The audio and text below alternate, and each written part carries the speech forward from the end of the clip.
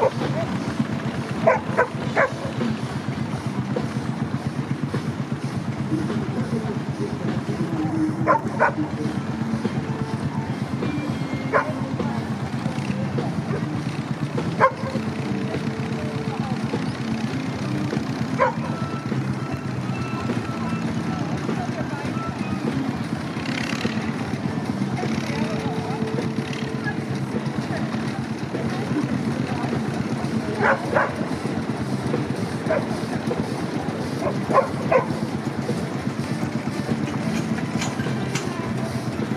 Just pumping up the oil, giving it around uh, 40,